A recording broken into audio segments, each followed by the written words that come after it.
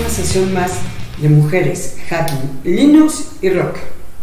Este es un espacio que pretende promover para que cada vez más mujeres se animen a participar en la ciberseguridad y hacer de esta disciplina su opción profesional.